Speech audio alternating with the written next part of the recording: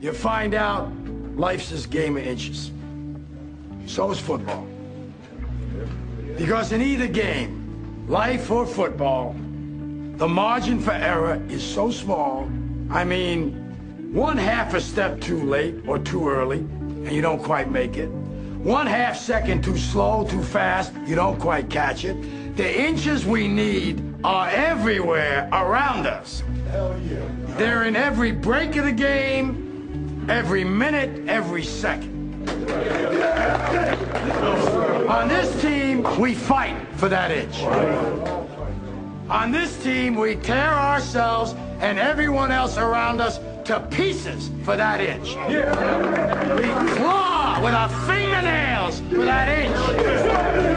Because we know when we add up all those inches, that's gonna make the difference between winning and losing. That's what living is. The six inches in front of your face. That's football, guys. That's all it is.